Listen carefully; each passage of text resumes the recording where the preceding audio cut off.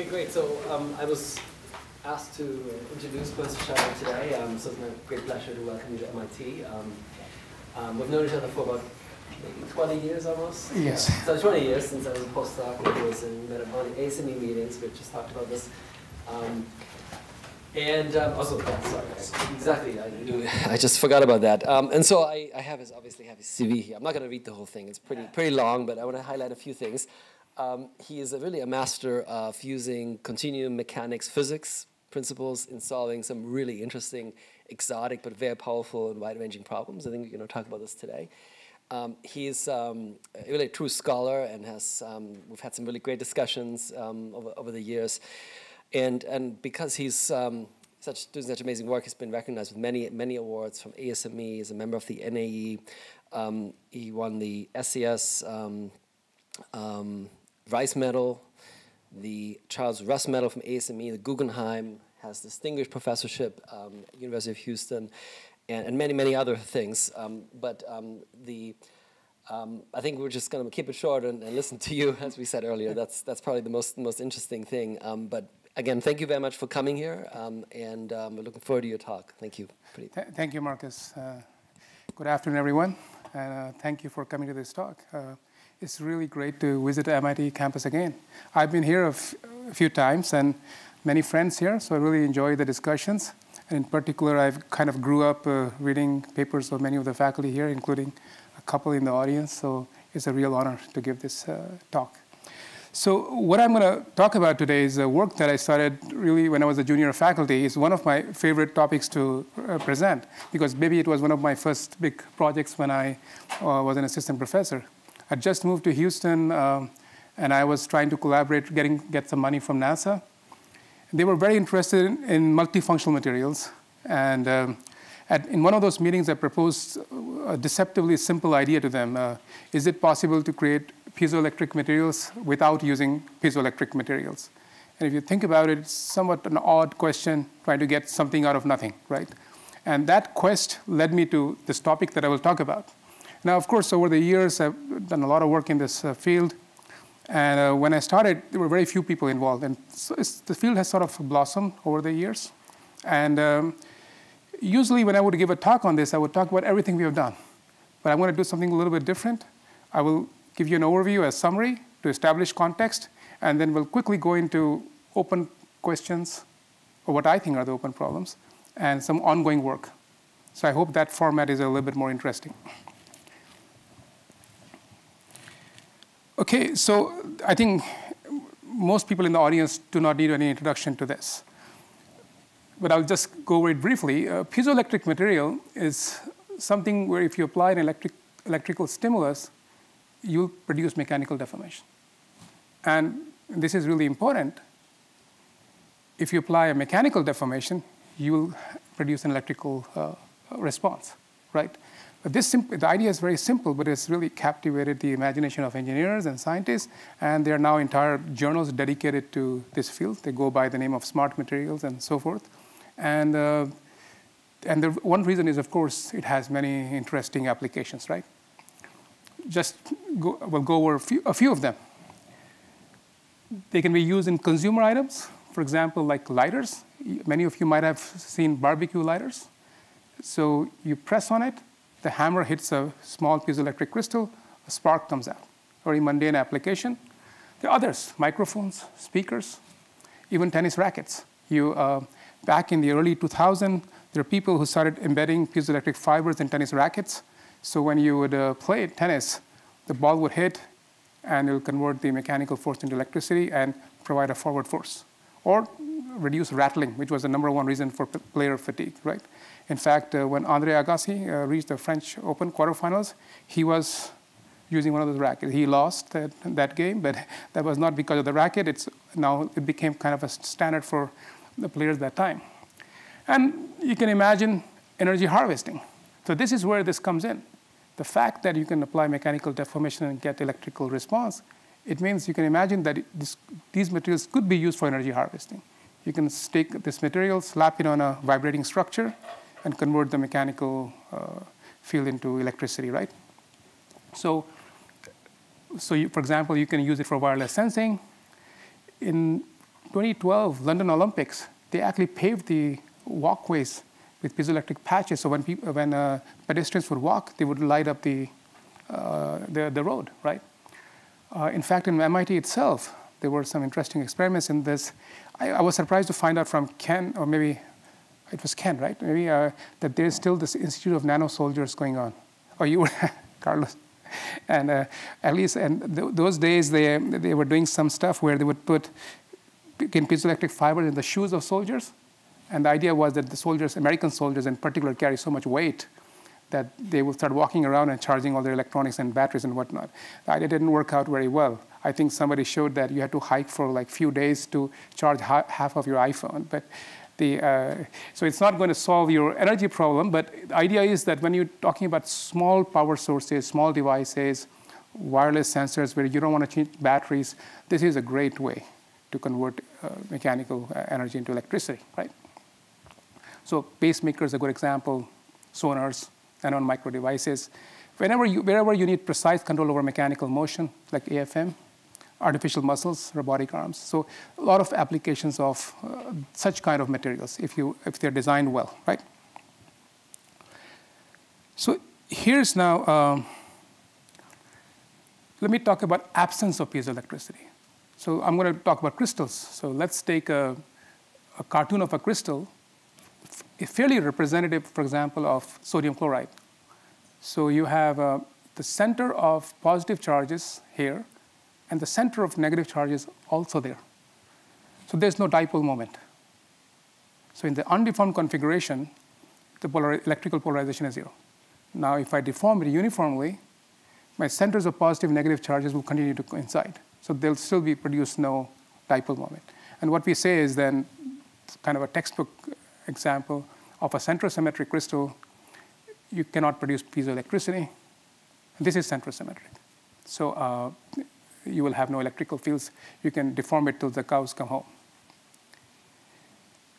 Now, here's another cartoon. Now, it's undeformed configuration. The centers of positive and negative charges coincide. But now, if I deform it, they will separate.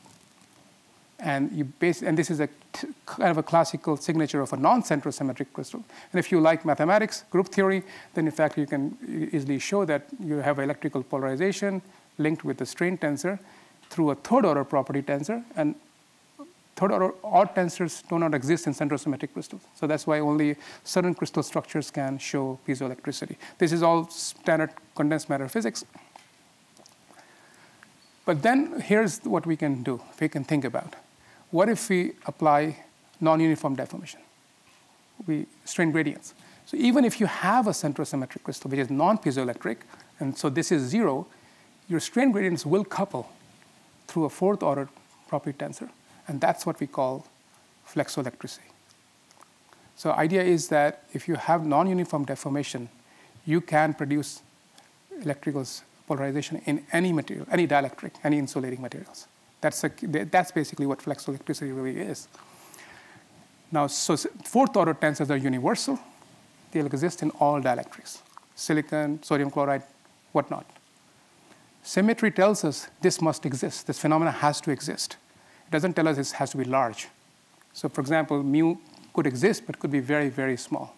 And actually, turns out, unfortunately, it is very, very small in general. general. So this phenomena is indeed an exotic phenomena uh, of somewhat minor significance in general, but it's interesting because you could, in principle, produce electricity in any material provided you apply non-uniform deformation. And in fact, uh, there was, there is some limited, there was in, in, the early days when I started working on it, some experimental corroboration. Unfortunately, in materials with very high dielectric cons, uh, constants like ferroelectrics themselves, which often are piezoelectric to begin with. So that was maybe not as interesting, at least from my point of view anyway. But uh, there was some experimental evidence of this. But in particular, if you, if you do quantum calculation on something as simple as a graphene ribbon, which is just carbon, manifestly non-piezoelectric, if you just bend it, you actually can just simple DFT show that you will create a polarization out-of-plane. So that was one of the more interesting things that came out of in the early 2000s. So here's the idea that I was talking about in the beginning, which is what I, how I started this uh, project. So imagine now you have a chunk of material that is non-piezoelectric. So of course, if you apply uh, some mechanical stress to it, you will get nothing, no electricity. Now I imagine that without telling you, I put an inclusion in it, also non-piezoelectric. But now you will create strain gradients here, locally.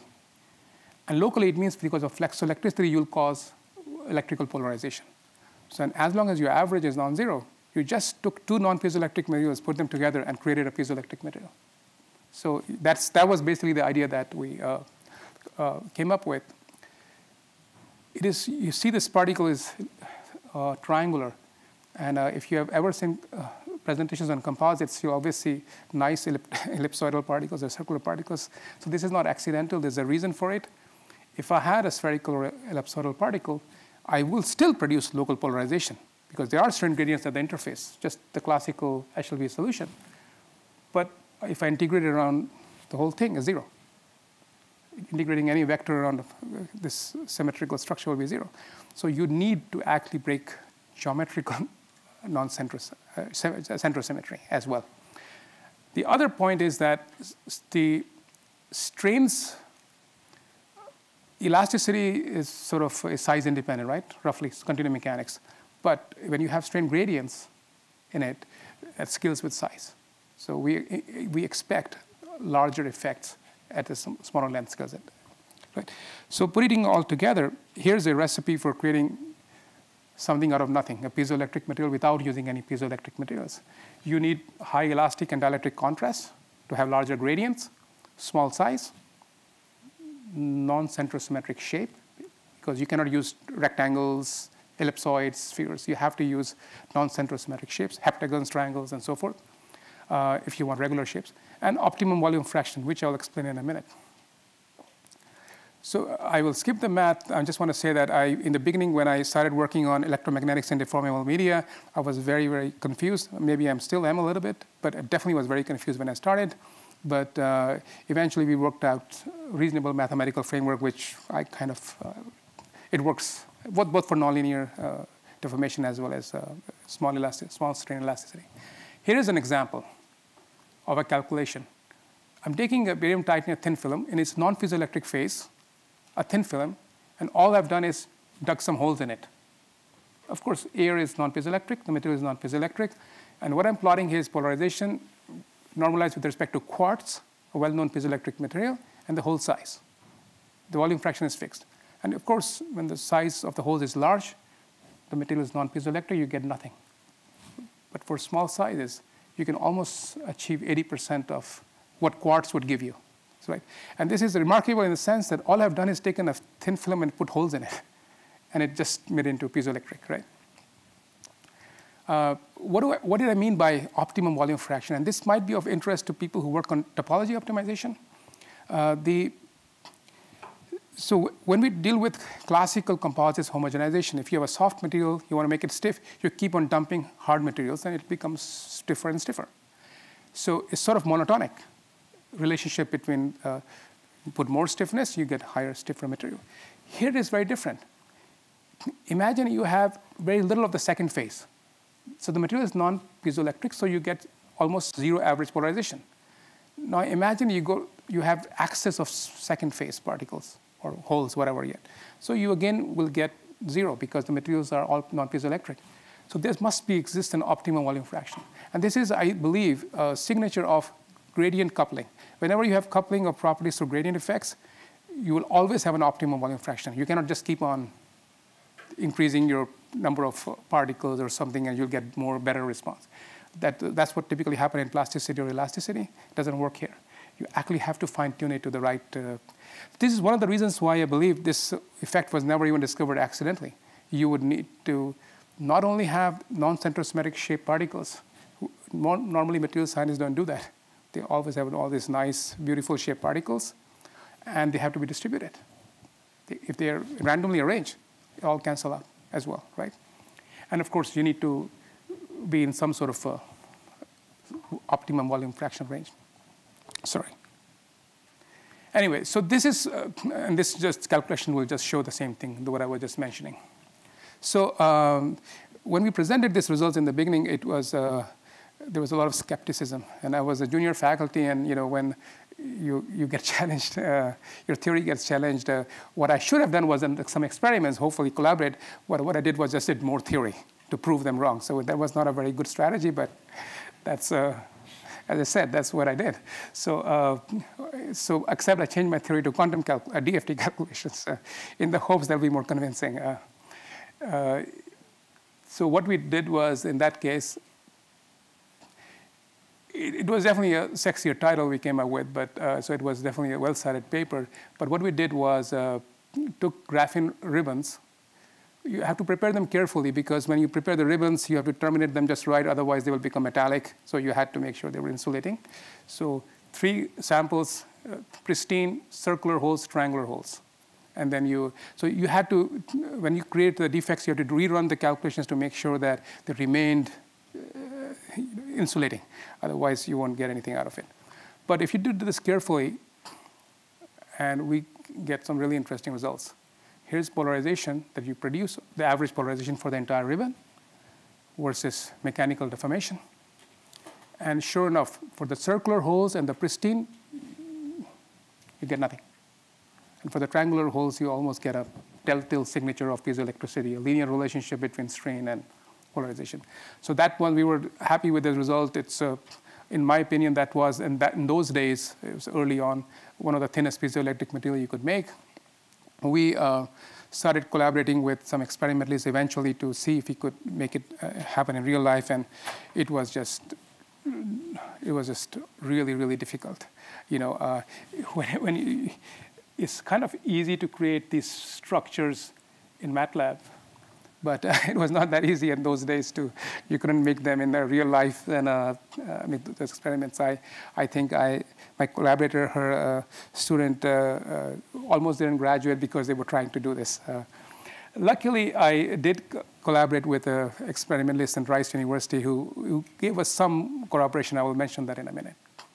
So what else have we done? So there are many things. For one thing is uh, in collaboration with Professor Ajayan and Jiang Yu, Jiang Yu group, we're able to actually, they were able to create a material that self-assembled with these triangle holes, uh, graphene nitride, and turns out that they were able to do some PFM image uh, uh, experiments to prove it, prove what our theory was saying. That was a nice uh, corroboration. Uh, I was able to persuade another experimentalist to, sh to show a size effect in ferroelectrics due to flexoelectricity. That was also nice. And then we had many other speculative works related to energy harvesting and, and nanocapacitors and many other topics over the years. So with that sort of as context and summary of what flexoelectricity is and what, how I, I, my work on this started, let me talk about what are some ongoing things and uh, uh, open questions, at least that I think are interesting questions, right? The first is, a computational framework. At least in the initial days, it was a gradient theory with electrical fields. I'm not a computational person, so I, I, thought it was an interesting area for the finite element people to work on. And in fact, indeed, over the last many years, there's a flurry of work on coming up with finite element schemes to handle the, the numerical implementation of continuum theories. Uh, borrowing actually methods that people have developed for doing strain gradient elasticity or plasticity as well. But now you have to do coupling with electromagnetic fields and often in the context of soft matter. So this is, a, this is something that has been ongoing. Perhaps it's already saturated, but I don't know. Um, but definitely a, a, topic that has, seems to get attention. The second open area or ongoing uh, area is a rigorous homogenization theory of flexoelectricity. Again, it's a, not your standard composites where you uh, can homogenize uh, like elasticity or even plasticity, you're dealing with this gradient coupling. So that has its uh, interesting idiosyncrasies that you have to deal with. Uh, of course, there's ample scope for op topology optimization. And in particular, finding manufacturable optimal geometries. What we did were very simple work using uh, uh, simple analytical formulas. But uh, there's certainly scope for more. Interestingly, from an experimental point of view, finding the flexoelectric tensor is not easy because you have to go down to small scales and you have to apply gradients, right? So easiest way to do is bending. So you would have to go to small scales, apply bending, and then make take measurements. But in bending will give you might give you one, essentially one constant. So you, you, for the complete characterization, you will need to find multiple ways of deformation gradient. So not an easy problem. Turns out the atomistic calculation is also not so simple. So the, uh, again, you, you, cannot use periodic boundary conditions easily, right? Because you have to apply gradients. So if you try to do DFT, your graphene ribbons is okay, but if you want to have bigger crystals, you cannot use periodicity. So uh, it, then your computational problems come in. I'm sure there are ways around it. People do it. If you start using molecular dynamics, again, when I started working on it, the potentials were terrible, uh, which could handle uh, polarizability of materials. There was, uh, in Caltech, Goddard's group tried to develop some good potentials for these kind of things. And uh, uh, we, in fact, used a little bit of work with Tahir Cagin at A&M. But this was finding finite te temperature properties uh, of this phenomena was actually an interesting challenge. I think to date, I think this remains somewhat inadequately addressed. And now we're talking about other areas that uh, slowly people are getting into, energy harvesting experiments, architected metamaterials. We just spoke to Carlos, his kind of stuff he's doing. Now people are trying to make architecture metamaterials and you're exploiting flexoelectricity to get a big, really electromechanical response. I'm not involved in this work myself, but I'm reading those stuff with interest, and that's becoming an emerging area. Of course, then actual applications also. Finally, and this is where I will focus a little bit more on, is uh, soft materials and biology. Right? That I believe is in my opinion, that is now, the, for my work, that's now the big focus. I am more and more now getting into that, that sort of realm in terms of both application of flexoelectricity or in general uh, electromagnetics.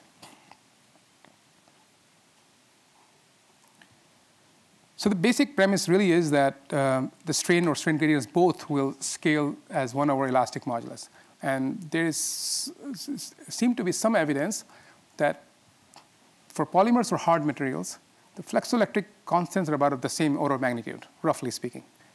But the elastic modulus is off by three orders of magnitude, right? The polymers, soft polymers, they are way more softer. So we can produce larger strain gradients in soft materials as opposed to uh, hard materials. So that was the basic premise, that, we, that, that flexoelectricity would be of more importance in soft materials. So I have since slowly got, gotten away from hard materials in this context. And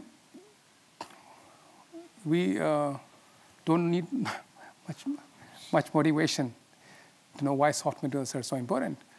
This uh, skull is moving through these rubber bands, which are being electrically actuated. This kind of motion is not possible with hard materials, right? You need soft materials.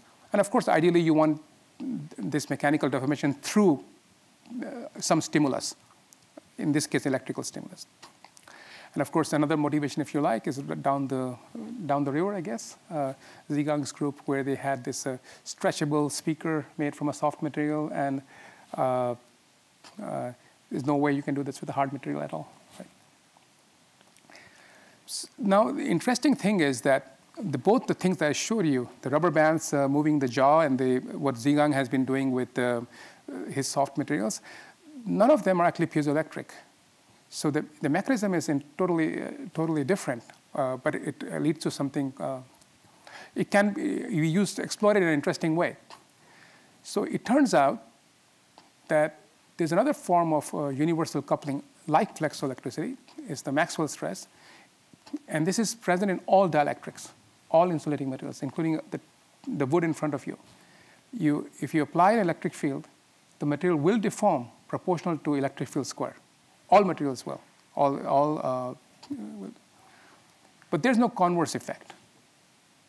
You can apply, uh, you can apply mechanical deformation as much as you want, you will not produce electricity. But applying an electric uh, field, uh, you will produce some mechanical deformation proportional to E square. So, so what it means is that if you take a thin film, you apply an electric field across it, with the electric, it will, it will become thinner, right? Histo is nonlinear in nature. It requires very high voltage, and deformation is not reversed with electric field. It cannot really easily use it for energy harvesting either, right? But it is universal. The effect is so weak that you, it hardly matters. So the material in front of most hard materials will, you will barely be able to experimentally detect the deformation if you try it. But with soft rubbers like silicone, they can deform. I mean, can, uh, people have shown experimentally you can deform. I, mean, I think Xuanhe himself has done it experiments and deform like several hundred percent. You can deform these materials, uh, soft materials. So here's the basic idea we came up with was uh, the using this Maxwell stress, and as long as you can you deposit charges and dipoles, you can actually take an ordinary soft rubber material and make it piezoelectric-like. So these are invisible charges and dipoles. You're not talking about com actual composite. That's all you need. And let me motivate this a little bit. So these materials are called electrets. They were discovered, well, perhaps going back even uh, 100 years ago, but sometime in the 80s, they came of age by people in Austria and Germany. And they took this polypropylene foams or polymer foams, they would stick a needle in it, break the air down electrically, so they would deposit some charges. So you have this, in this foamy materials, charges deposited. So there, it doesn't change the elastic modulus much. In fact, makes it even softer if you have foamy material. But it turns out when they actually do experiments on it, it behaves like a piezoelectric material. Not only that, it actually this piezoelectric coefficient is really, really high. These are really soft. Ordinary soft materials, by the way, are not piezoelectric at all. They cannot be. They don't have that kind of a, uh, symmetry structure to do that. Uh, usually, most of them, soft materials. But these, all you're doing is putting some charges and they have this interesting effect. And here's the mechanism behind it that I can like explain. So imagine two soft materials and you somehow able to deposit charge between the layers. You have to stabilize it. So the, here's the thing I want to say. It's a quasi-permanent charge or dipole state. Intrinsically, it's unstable, right? Because the charges will want to decay away to the surface. It's a, non it's a metastable state. But the interface stabilizes it. And in fact, uh, people have calculated that its time constant to decay. For some of the materials, it's like 100 years at room temperature. So it stays fairly stable. It won't decay. Uh, if you use the right materials and interfaces. So the energy barrier is high enough for them that you will stabilize it. So let's say you stabilize charge in this body, in this two-layer material. Both of them are soft material. Here's what will happen. Here's mechanical deformation. Here's electrical field. Based on the Maxwell stress, the quadratic relationship, we expect a parabola. So strain behaves as E square. It's compressive, so we are it's inverted down. Now, if I have these charges in, uh, embedded in them, you essentially have a residual field in, in some sense. What you, all what you do is you end up sh shifting the curve a little bit, and you will pick a linear component. It's actually very easy to see. Uh, we have a theory. I won't go into details about it, but you can, if you solve this simple bilayer problem, you can do it analytically. It's very trivial if I apply an electrical field, a voltage to it, delta V, my change in total thickness will be proportional to the charge square that I already have in the material, same like sort of like Maxwell stress of the residual field. I will have the Maxwell stress to the applied field, and I will pick up the linear term in the middle. Because this is, and this, this is where I would like to uh, say a few words about continuum mechanics, that uh, if I started with a linear theory, elasticity, for example, have residual fields, I will get nothing if you homogenize it. You, I will not get any effect.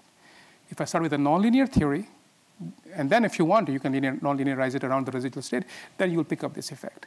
So the, uh, if, if some of you are in mechanics area, I will say that paying attention to uh, that, that sort of, thing that are buried in the textbooks, old textbooks like Malvern are important. Uh, and you will, uh, homo homogenization of these things are all based on the fact that you have to start with a full nonlinear theory, otherwise you don't get anything out of it. But from this we can extract a kind of a piezoelectric uh, constant, if you will. These are the thickness, the dielectric constant, and the whole result is proportional to the difference in the shear modulus. So you have to, you need some elastic contrast, and then you can create a essentially piezoelectric uh, material out of just nothing, really. You're putting charges in it. Uh,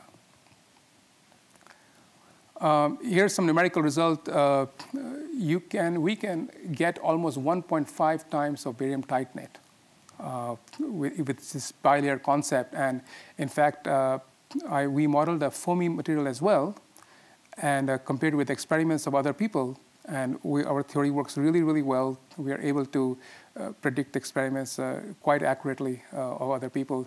And in fact, uh, depending on the kind of material and foams you use, you can get almost six or seven times larger piezoelectric coefficient than some of these hard materials. I'm going to uh, skip some of the couple of slides. We uh, uh, th that pertains to some fundamental uh, results in homogenization. Happy to talk about it with after the talk. So, what are the open issues in this? The first one is combination of electrets with flexoelectricity to exploit size effects. We actually have done the modeling the results we get are so fantastical that uh, we never publish them because we, we don't believe them. We, are not sure whether they're right or not. At least somebody has to do the experiments. Now um, we, I have enough collaborators. I think we will try to do that uh, at some point. Uh, but this is something that we, I'm trying to work right now with a few collaborators to do it, to combine flexoelectricity with uh, to see if we can engineer a very large response. The second is charge stability. This is kind of, I think, the critical bottleneck. What we would like to do is make electrets out of really soft material, like elastomers, like PDMS, silicone. The problem there is, you it, if you take, if I take polypropylene or Teflon, I make it a foamy, and I can put the charges in there. I can stabilize them for, as I said, hundreds of years for at room temperature. But if I take elastomer and I put charges, they will decay in three days. So I will, I will start with the piezoelectric material today, and three days later it's just piece of rubber. So how to stabilize charge in a really, really soft material like a rubber, like elastomer, is, it's a, that's a hard problem. And I, uh, of course, it's a chemistry problem, and I, uh, I, I, think I don't know how to solve it. it. That'll be good to actually do quantum calculations in it, but I have not been able to. I'm no longer do computation much, but there are people like Ju Li who could perhaps think about how it is possible to take soft materials and do quantum level modeling and stabilize charges. That's a, that's a different, altogether different design uh, problem at the material level, but I haven't uh, been able to make much headway with this. But this is, a, I think it's a truly a critical problem, not only for this topic, but for many other uh, topics. How do you stabilize charge, especially in soft materials? A lot of, a lot of avenues will open up if that happens. And of course, coupling of flexoelectricity with ionic motion. Some work, I'm starting to see some work appearing in this direction, especially in the context of thermoelectrics. It's still initial stages of this, but there could be some interesting work here done. Uh, one of my former postdocs is now trying to work in this, but mostly blank area. And then finally, the last topic, which I have done something, is what are the mechanisms of flexoelectricity, the micromechanism of soft matter. And the idea being is that if once you know the mechanism, then you can perhaps design soft material with, say, very large flexoelectricity to begin with. Right? And that one we have done some recent work. Uh, this just came out where we are able to design, say, a polymer unit cell with the chain level to come up with a very large flexoelectric properties uh, from the get-go. And turns out it has to do with how you arrange the chain so that you have maximal quadrupole moment, not the dipole moment, because overall the material is non-polar. Polar but quadrupole moment. And we, we use statistical mechanics to design, do the design, and we get some good results. This has to be yet to be implemented experimentally. Okay, uh, how's am I doing for time, Kosa? Uh, okay, good. So, uh, so in, in, biology also, there's a, you know, this phenomena plays, can play a very interesting role. So in our bodies, especially if talking about uh, cell or tissue level, we, we're talking about soft, squishy stuff, right? So there's no, no avenues for it to be piezoelectric, right? Our cells, for example. But this, I believe, other than the ionic motion, this is one of the key mechanisms uh, underpinning electromechanical coupling in, at the cell level right? You can imagine that if you have a cell membrane is bent, it will perfectly fits that bent graphene paradigm that we talked about. And indeed, for such a squishy, iso essentially a fluid membrane, you will have a polarization vector normal to it, and F is the flexoelectric constant, and kappa is the curvature, right? And that therein lies your electromechanical coupling at the cell level. And here, the work that we explored and did is uh, related to uh, hearing mechanism. So the idea, one of, so one, uh, the basic premise is that our hearing mechanism is uh, mediated by our oscillations of our hair cells, in the, our out, outer hair cells, right? So you have sound waves coming in. They, they, you have this small stereocilia, which are the small hair-like objects on top of the hair cells. They, uh, they start oscillating because of the sound waves. The ion channels start opening and closing. When the ions move in and out, that changes the electrical field in those cells. That, because of flexoelectricity, there's now a mechanical shape change as well. And so it's a back and forth coupling that goes on between them.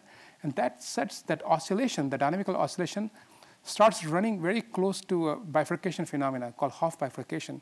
And Hopf bifurcation, what it does it is, is basically you are, uh, reach a limit cycle.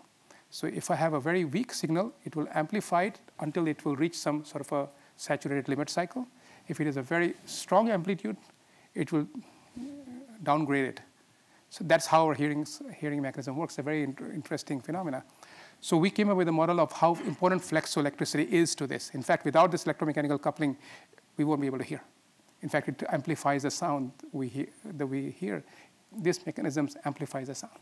So this was a work done with collaboration with uh, Brownell at uh, Baylor School of Medicine. And uh, I believe it is being received well. Uh, because we, uh, th this kind of coupling was central to explaining some of the things we observed. Uh, and most interesting to me personally, and I, this paper just got appeared like a few weeks ago. it was in, under embargo until then is that the question that we said, okay, now that we know this, can we address a question that is very personal to me? Uh, why do some people hear music better than others? I always have uh, been passionate about music, and uh, when I first bought my piano 10 years ago, I, I, I heard, I've heard Twinkle Twinkle like all of you, but I couldn't figure out the notes on the piano unless somebody gave me the sheet music. But my wife, who's completely untrained in music, she could sit down and listen to any Bollywood song, and then even though she's not non-Indian, and she could crank out the entire song, right? So clearly, and she's not trained in music, so clearly she had a better ear for music, right? So the question we asked was, is there something physiological going on in our ears that makes her, you know, uh, better at listening to music, distinguish pitches? So I asked that question, and the answer is, I believe, in the affirmative. Uh, this will be an entire new talk by itself, but if you're interested, the paper is on my website, and now we, have, we do have a theory that, sure, training will make a big impact, and there's a lot of neurological stuff going on, but there is something physiological in our ears and then based on your bending modulus of your hair cells, based on the flexoelectric properties, that will make one person superior to the other when it comes to discriminating between pitches and so forth. Okay, here's my last topic, and I uh, actually kind of a little bit added this uh, because I had a long discussion with Lalit about this, so I wanted to add a little bit about this uh, on there. Uh, I think I still have some time. Yeah, so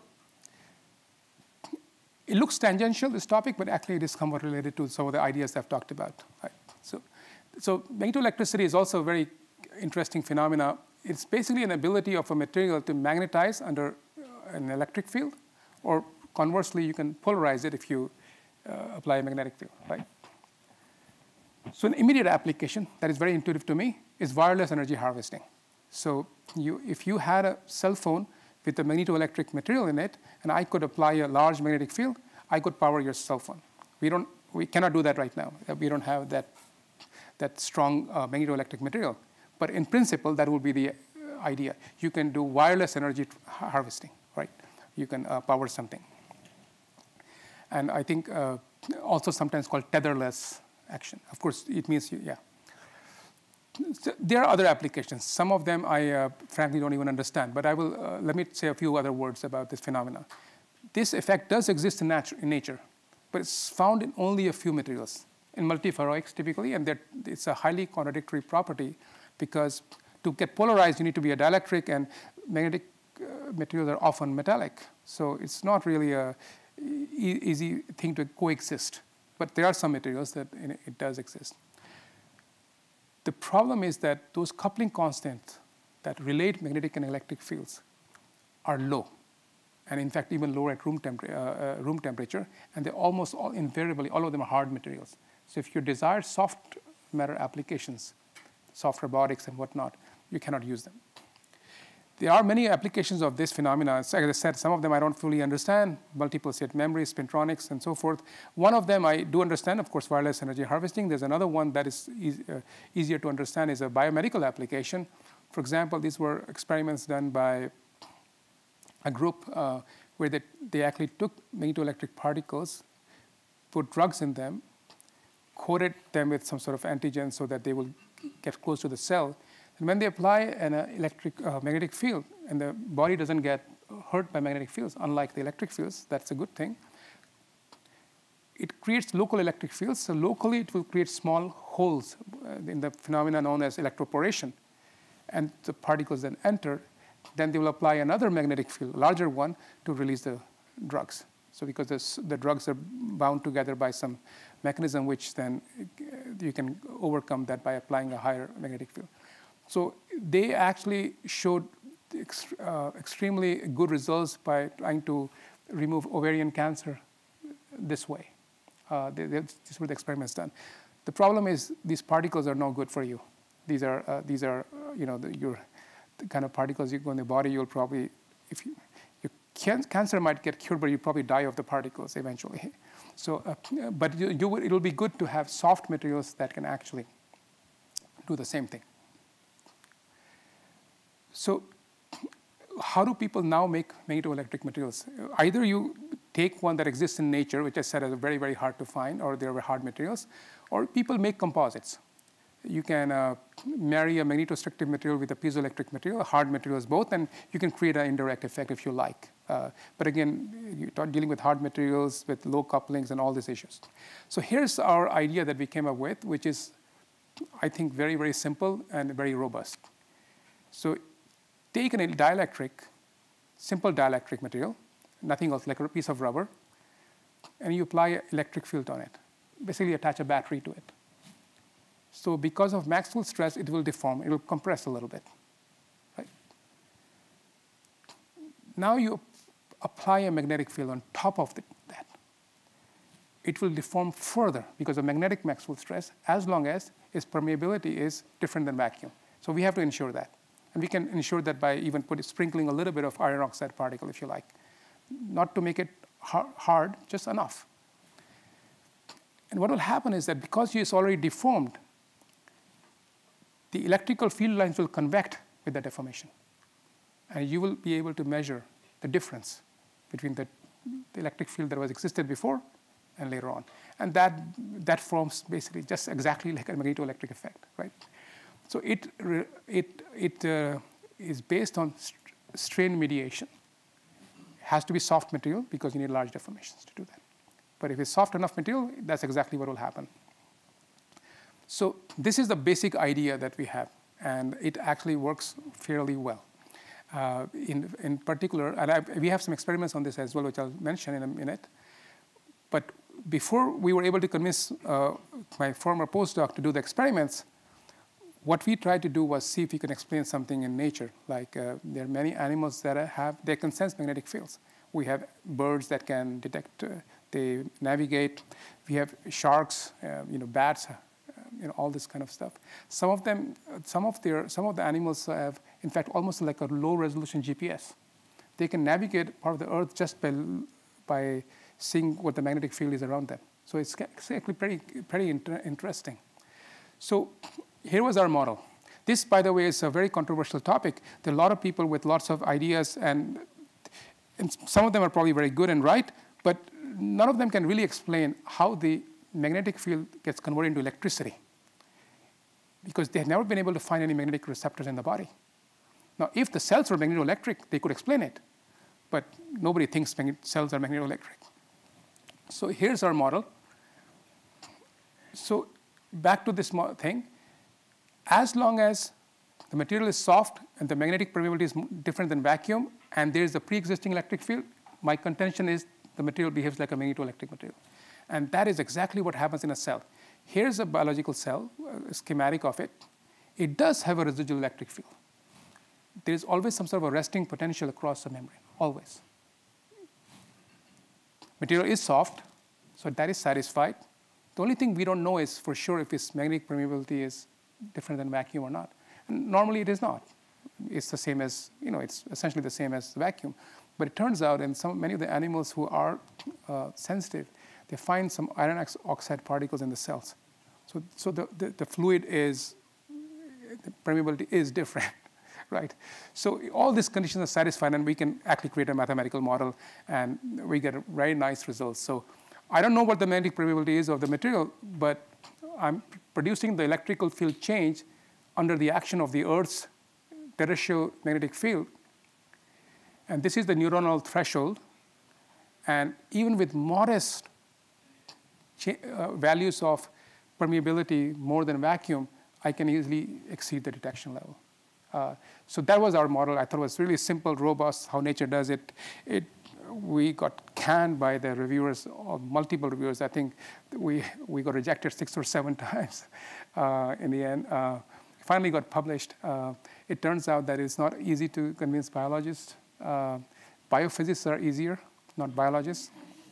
Biophysicists, uh, and I think mainly because we didn't have, did not have any experiments and how, you know, I'm not, I can, I can, you know, we were lucky enough to do the theory, let alone experiments. We never really did. But uh, I was really happy about this work uh, in the end. Uh, so what we said, we cannot do experiments to prove this, but we will try to see if we can use the basic idea to make artificial materials, right? Uh, and before I show you the results, let me just briefly talk about the open issues. The first open issue, to, can we create a artificial soft magnetoelectric material based on this principle? And a few, uh, several months ago, this was my bullet. I'm happy to say that we actually successfully made it in the lab. We, using exactly some ideas, what we did was we did not attach, we did not attach a battery to it for pre-existing electric field. We just made it an electret. We just put charges in it. That produces the residual field.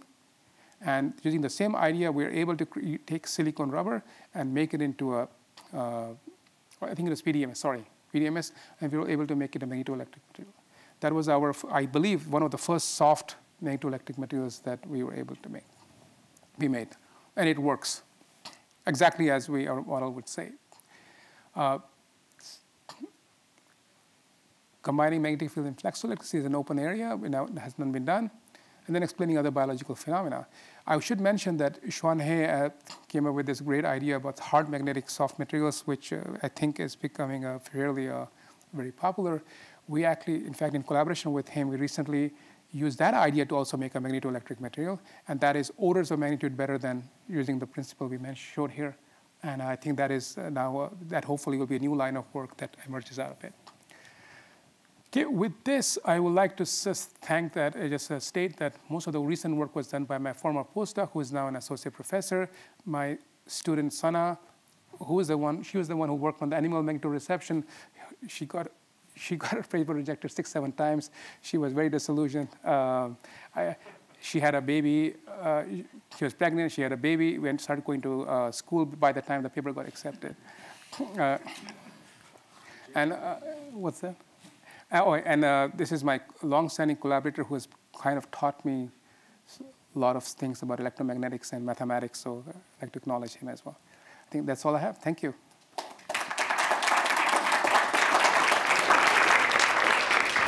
Yeah, thank you so much, Pradeep. Um, we have many questions I'm suspecting. Yes, please, go ahead. One thing that's puzzled me for years is how electrets are maintained against natural cosmic radiation. Why doesn't, why doesn't the ionization in the atmosphere and, the, and, and materials lead them to run down? You said a 100-year time constant. How can something be maintained for a 100 years? Uh, well, so nobody has done, obviously done the experiments for 100 years. So what they do is they do an accelerated test. So they will, they, they have a model for how the charges would decay to the surface, right? So they, they will do an experiment at slightly higher temperature than room temperature. It's kind of an Arrhenius kind of a relationship and then based on that, they'll extrapolate how long it stays stable. So definitely, there are electric devices in the market right now, by the way. Uh, they will definitely stay stable for several years. Uh, but the prediction would be that they, for some of the materials we're talking about, they will stay stable for 100 years through, they're extrapolating it based on their accelerated testing. They're doing testing for only maybe a few weeks. but from that they extrapolate. Uh, yes, the charges want to leak out. In fact, for elastomers, they do. You, you make one, and three days later, it's gone. But yeah. Uh, question, yes, But the inter interface stabilizes them because it produces some sort, it uh, leads to some sort of energy barrier for the charge hopping. I mean, it's a, these are ins insulating materials, so there is some barrier anyway to, for them. Yeah. yes. follow up on that. How do you actually embed charges in, in a material? And when you when you say embedding charges, are these overall electrically neutral or uh, charged? Yeah. So, well, okay, I'll answer in two different ways. First question is that what, they do typically is that they, there are two ways to do this. Two main ways that I know of. One way, the older way was that you take a needle, put it inside the material, in one of the holes, for example. You apply a very large electric field to break down the air, right, to produce charges, to deposit charge. That's one way to do it. The, uh, what my former postdoc has been doing is that he found that, for example, for really soft material, it's very hard to stabilize. So he takes a very thin Teflon layer, and they break down the air, and they quickly glue it on the other soft material on top of it. So the, ch the charge is trapped by the Teflon, stiff Teflon layer and the soft material. So they, they, do they play tricks like this to stabilize them. Now, talking about overall, overall uh, neutrality, people will sometimes say that they're putting not just dipoles but actually charges, but I think it's just kind of wrong. At some level, the entire material has to be neutral, otherwise the energy is too high. Remember, the electrical energy is, goes all the way to infinity, right? It goes to vacuum, it's be too much for it. So even if you think about it, let's look at uh,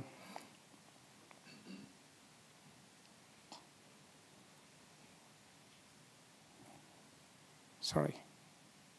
Here, you, if you have a charge layer here, let's say put it's uh, just negative charge, for example, your electrode overall material will has to be neutral, right? Will be neutral because it will deposit some charges on each electrode. Overall, you'll have balance. You'll just have giant dipoles in the end. That's essentially what you'll have. the hearing work that, that was really fascinating. Have you um, did you try and see if if that can sort of predict what is the what is believed to be the common human range of hearing frequencies? If that somehow. Uh, so the, our model is at a very basic level. Uh, we would so we, for example, only analyzed uh, one stereocilia, right? Because we are trying to do some very basic, interesting predictions on these things. So each, so in some sense, you have you have a hair bundle, you have stereocilia. Each of them is responsible for some sort of a frequency, and then you know so you have multiple cells. That's why we have this range, right? So I don't think this phenomena will explain that because it really is a function of what, how many hair cells you have and how many stereocilia you have, right? That will decide your frequency range. But assuming, let's say it's about the same for, it is about the, roughly the same for most human beings, then how well it works, that is what we explain. The sound amplification, the frequency discrimination, the compressive nonlinearity, all that stuff, yeah. So we are most interested in the ability to disting, distinguish the pitches, maybe more than, yeah. Okay. You and then you.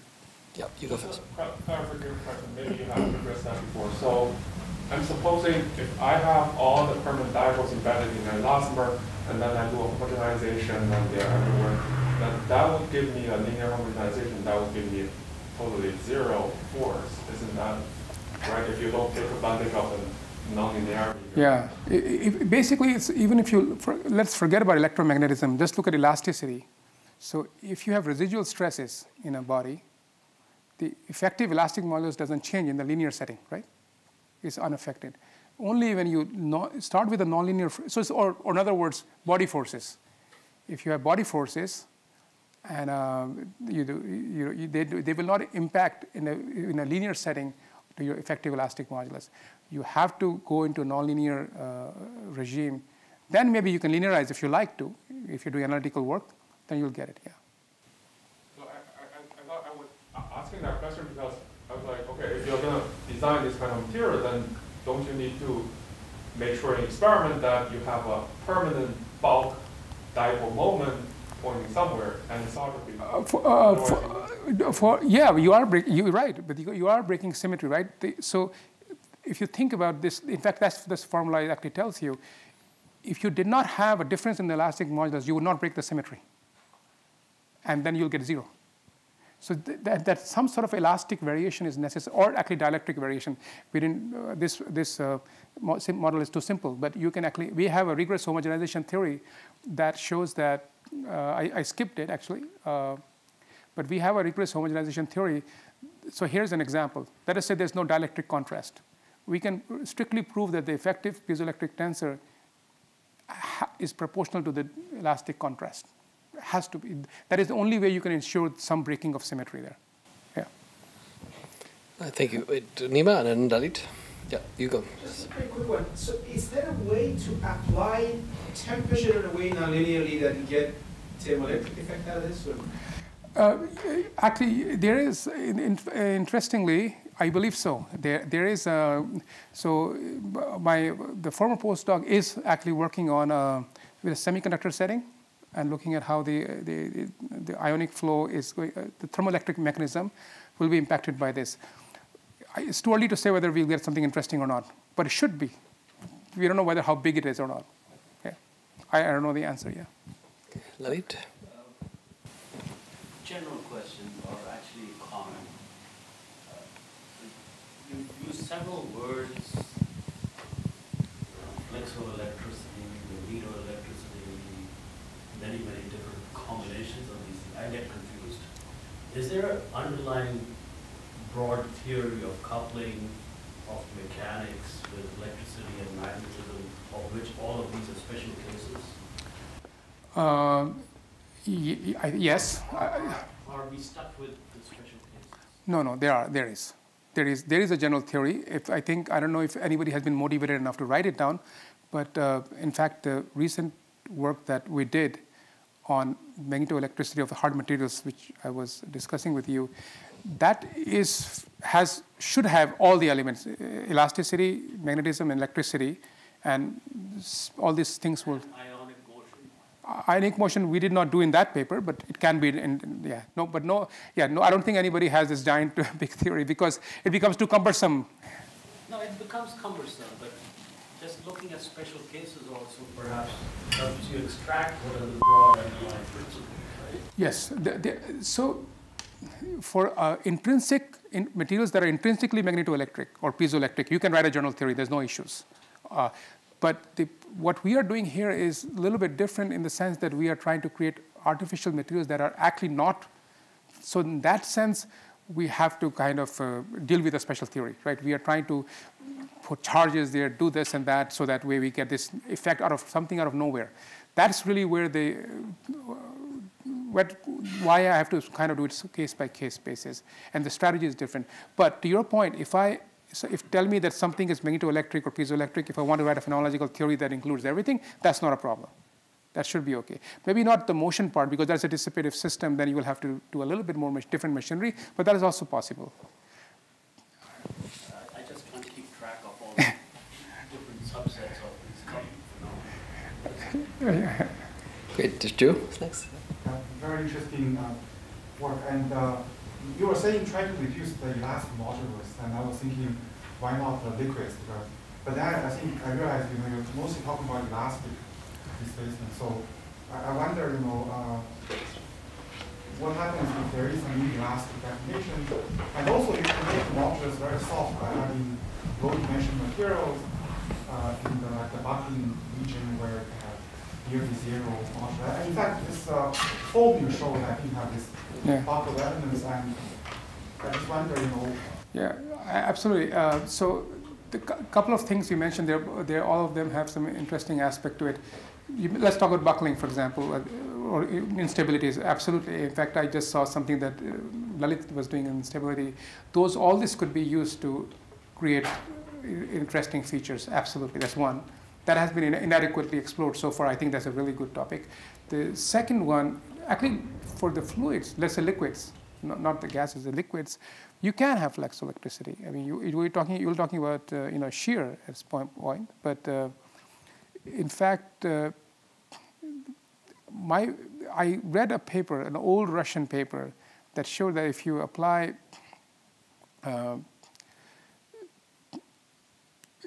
you, if you apply some sort of a shock kind of a wave can lead to something a phenomena called uh, sonoluminescence. I, forget. So uh, he- yeah, he was attributing the, the electrical activity to flexoelectricity. So I, that, so I don't know enough about it yet. I have to, I'm still trying to figure it out whether there is some relationship or not. But there is, there is some possibility this, it could happen. But instabilities, definitely so. That, that will be a big, uh, big thing.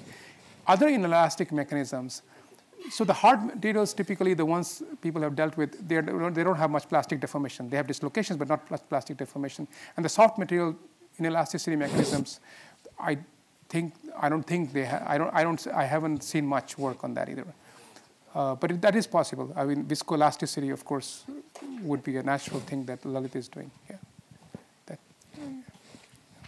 Great. I think I actually have a question, but I'm not going to ask it because otherwise we'll talk for another hour. Um, but I, I think we are we are we in lots of time. Yeah, good. Thank you so much, Pradeep, again, and thank you everybody. thank you.